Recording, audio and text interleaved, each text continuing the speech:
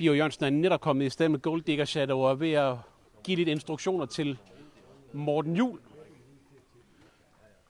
Men vi skal høre Bio indtrykket af hestens præstation i dag. Jamen, det var vel okay. Vi øh, var glade for at få en, en, en præmie, og hun var femte. Hun gik vel op til, hvad hun kunne, så det var fint. Tilfreds med positionen undervejs. Ja, det kan man ikke være andet. Tak for det. Tak. Gloria Line måtte sætte sig slået på de aller sidste meterstenhjul. Øh, præstationen i dag, tanker der lige her umiddelbart efter løbet?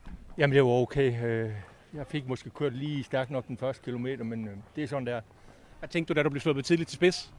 Mm, Ja, så tænkte jeg, så, så kan det jo gå, men øh, jeg vidste jo også, at Jeppe sagde der med en af de der, der havde vundet øh, prøven ind i ryg på mig, så det var lidt svært. Præsterede hun så godt, som du havde forventet? Det gør de vel aldrig, når de ikke vinder, men øh, hun gik okay.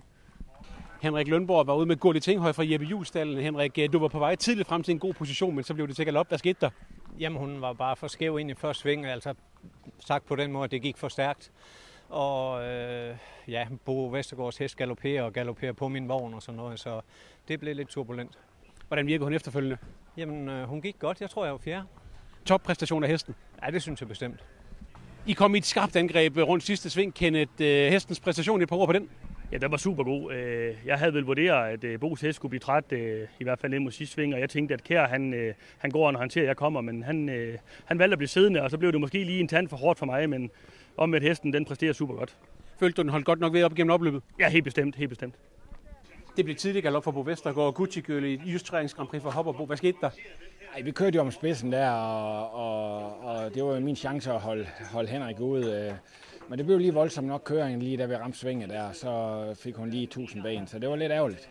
Hvad tænker man som uh, træner og kusk lige det øjeblik, man fornemmer, at det her det går galt? Nej, det er man jo selvfølgelig ær- ærgerlig over, og så kom hun ud af feltet og stillede sig igen, og så var jeg sat af i tredje spor og havde ikke andre valg end at, at køre frem, så det blev jo helt fejl det hele, men øh, lidt synd med den galop. Øh, Vi fik ikke helt se, hvor hun stod hen. Øh, øh, hun, var, hun, var, hun var på stålet i dag. I sin kun fjerde start var godt swagger med Jørgen Lorentzen ude for at måle sig mod de bedste hopper i årgangen. Jørgen, hvordan føler du, hun slap fra indsatsen? Hun slap fint nok for indsatsen, men når vi siger målet, så har vi en, et par meter op endnu, kan man sige. Men, men vi kommer, ned, altså det var bonus, vi var her i dag, og det er bonus, hvis vi er med i kriteriet senere. Det, det kan vi muligvis også være, eller i hoppeløbet der, men, men det var jo først næste år, vi skulle være med. Indsatsen i løbet i dag? På papir, altså, udset udefra isoleret set, var hun måske dårligere end i forsøget, men når du så putter alle forsøgskvalerne ind i samme løb, så bliver det jo et bedre løb jo. Så, så hun gik fuldt op, og jeg tænker også, hun går bedre tid, end hun gjorde sidst, og tempoet var hårdt for hende i dag. Hun, hun har arbejdet i dag. Tak for forklaringen. Selv tak.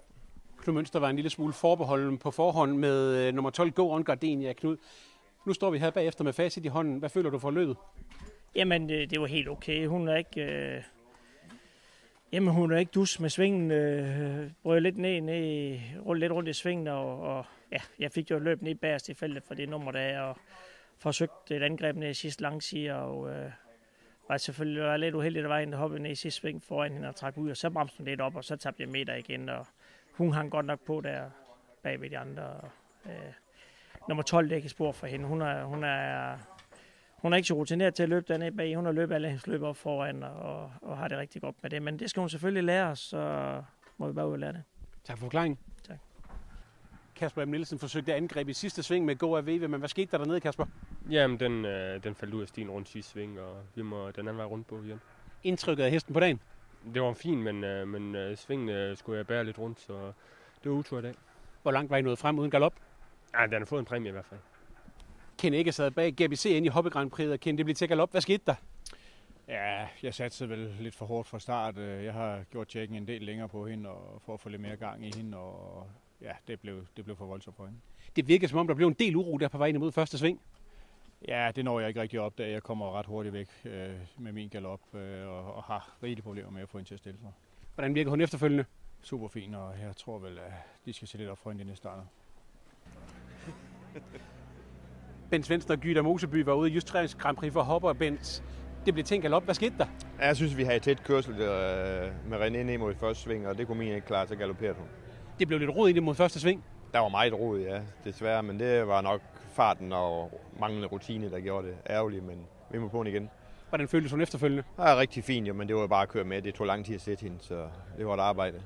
Næste år bliver Gyda så og siger I i stallen det bliver bedre i hvert fald. Øh, hun er ved at være groet sammen nu og, og fin at sidde bagved, så jeg tror, hun får en god sæson.